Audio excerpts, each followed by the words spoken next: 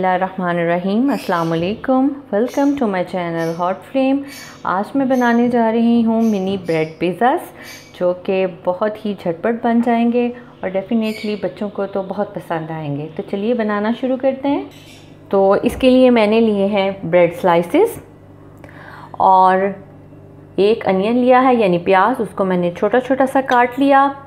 इसी तरह से टोमेटो लिया, उसको छोटा छोटा सा डाइस कटिंग कर ली उसकी।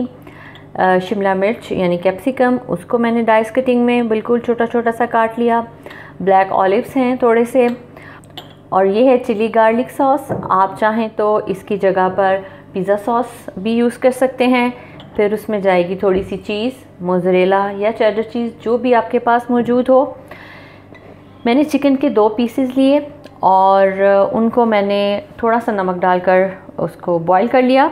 अब इसके अंदर मैं half teaspoon tikka masala डालूँगी और इसको डालकर इसको अच्छी तरह से मिक्स कर दूँगी।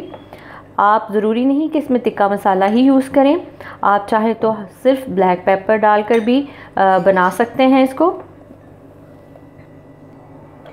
आप अपने बच्चों के टेस्ट के अकॉर्डिंग कोई भी फ्लेवर इसको चिकन को दे सकते हैं।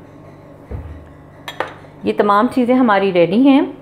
अब हम करेंगे ब्रेड का एक स्लाइस लेंगे और एक कटर के साथ अगर आपके पास कोई भी राउंड कटर नहीं है तो आप किसी भी बॉटल का या कोई भी कैप ले सकते हैं। इसके साथ हम इसको एक इसका सर्कल काटेंगे बड़ा। ये देखिए, इस तरह से ये इसका एक सर्कल काट लेंगे। इसी तरह से हम दूसरा ब्रेड स्लाइस लेंगे और उसका भी एक हम सर्कल काटेंगे। ये देखिए ये भी सर्कल निकल आया। अब ये जो हमारे पास दूसरा सर्कल है हम अब एक उससे छोटे साइज़ का आ, एक राउंड कटर लेंगे और इस सर्कल को हम इसके सेंटर में से इसको कट करेंगे। इस तरह से।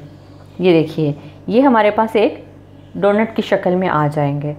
हम इस तरह से जितने भी हमने पिज़्ज़ाज़ बनाने हैं उनको हम आ, कटिंग कर लेंगे। हर पिज़्ज़ा के लिए एक हमारे पास डोनट होना चाहिए और एक हमारे पास इस तरह से एक राउंड उसका स्लाइस होना चाहिए। ओके तो मैंने ये ब्रेड के सर्कल्स भी काट लिए हैं इस तरह से। फोर सर्कल्स मैंने काटे हैं और फोर इस तरह से मैंने रिंग काट लिए हैं क्योंकि फोर मिनी पिज़्ज़ाज़ मैं बनाने जा रही हूँ। हमारे पास जो ब्रेड के किनारे और ये अंदर से जो सर्कल्स निकल कर बचे हैं, उसको हम ज़ाया नहीं करेंगे। उसको हम ग्राइंडर में डालकर, उनको पीस कर हम ब्रेड क्रम्स बनाकर फ्रीज़र में रख सकते हैं, जब चाहें हम ईज़िली उनको निकाल कर यूज़ कर सकते हैं।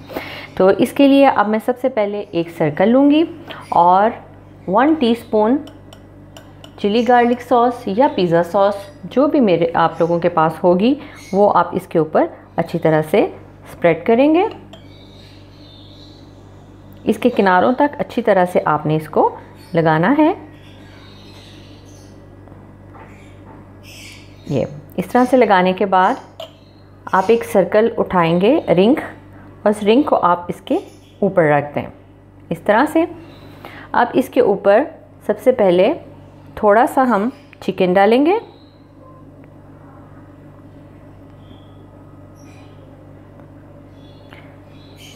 थोड़े से हम अनियंस डाल देंगे। इस तरह। फ्यू क्यूब्स इस पे जाएँगे टोमेटो के।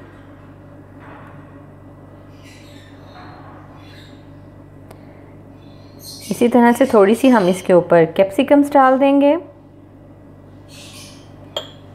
आप चाहें तो कैप्सिकम या टोमेटो इन चीज़ों को आप किसी दूसरी वेजिटेबल के साथ, जैसे मशरूम है, उसके साथ आप रिप्लेस कर सकते हैं, जैसे कि आप या आपके बच्चे पसंद करते हैं। अब हम इसके ऊपर डालेंगे चीज़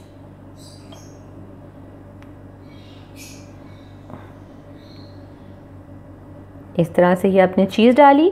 और इसके ऊपर अब हम रख देंगे ऑलिव्स। ऑलिव्स भी आप जितने चाहें ऐड कर सकते हैं। ये तमाम चीज़ें डालने के बाद मैंने एक एग लिया है और उसमें मैंने थोड़ा सा पानी, एक चम्मच पानी डालकर उसको अच्छी तरह से बीट कर लिया। अब एक ब्रश की मदद से मैं इस एग को इसके जो रिंग था उसके किनारों पर लगा दूँगी।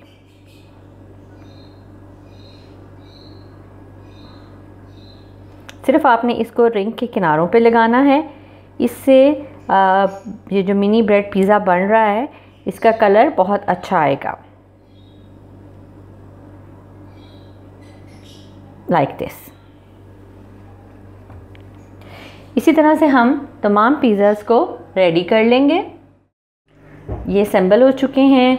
फोर मिनी ब्रेड पिज़्ज़ास अब इनको बेक करने के लिए मुझे किसी बेकिंग ओवन की ज़रूरत नहीं है।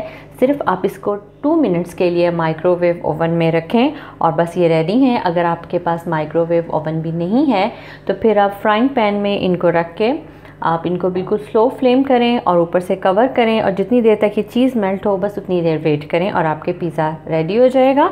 मैं इसको आ, टू मिनट के लिए माइक्रोवेव में रखती हूँ और फिर आपको दिखाती हूँ। तो ये रेडी हैं, झटपट से बन जाने वाले मिनी ब्रेड पिज़्ज़ाज़ आपको और आपके बच्चों को बहुत पसंद आएँगे और इनकी सबसे बेस्ट बात यह है कि इसके लिए बहुत ज़्यादा इंग्रेडिएंट्स की ज़रूरत नहीं है और बहुत जल्दी बन जाते हैं। इनको ज़रूर बनाइएगा और अपनी दुआओं में मुझे याद रखिएगा। अल्लाह हाफिज़।